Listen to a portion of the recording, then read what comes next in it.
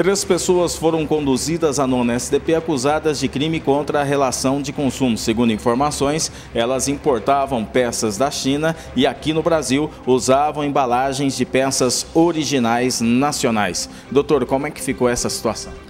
Na verdade, há, aproximadamente 15 dias nós recebemos informação de que nesses dois estabelecimentos comerciais estavam sendo embaladas mercadorias da China e vendidas como se originais fossem de mar, é, como se originais fossem.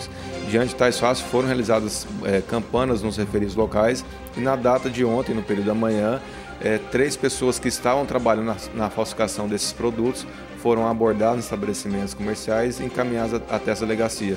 Nos referidos estabelecimentos comerciais foram encontradas diversas peças automotivas que estavam sendo embaladas com marcas nacionais. Agora vocês tentam descobrir em que autopeças essas peças eram vendidas em Maringá.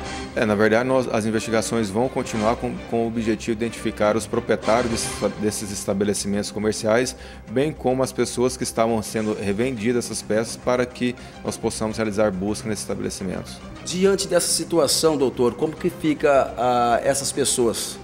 Na verdade, os três funcionários que estavam é, trabalhando no momento dos fatos foram encaminhados até essa delegacia, apresentados à autoridade policial que estava de plantão na data de ontem aqui na nona subdivisão e a autoridade policial entendeu que não seria caso de lavratura áudio de prisão em flagrante em desfavor dos, dos mesmos, motivo pelo qual eles foram interrogados, as peças foram apreendidas e agora serão encaminhadas à delegacia de estelionato, onde eu instaurarei é, inquérito policial.